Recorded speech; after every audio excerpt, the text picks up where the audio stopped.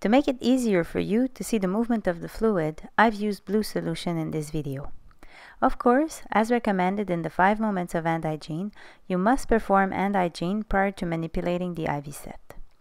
To administer using piggyback, you need a secondary tubing and your mini bag of medication. Spike your bag upside down to prevent spill of medication. Enter the spike into the bag until it's well secured. Clamp your secondary tubing. Use chlorhexidine and alcohol swabs to disinfect the highest port of the primary tubing. You need to friction for 15 seconds, then let it dry.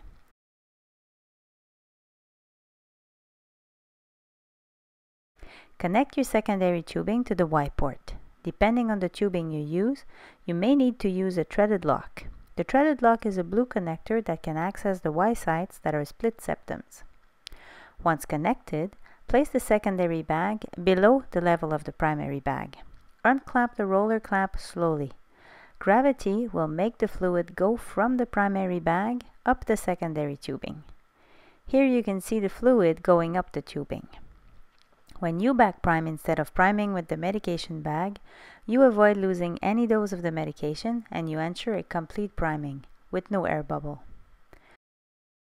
Once the tubing is primed, place your secondary bag on the IV pole and lower your primary bag using the hook provided in the secondary tubing package. Open fully the roller clamp of the secondary tubing and adjust the rate using the roller clamp of the primary tubing or program your pump.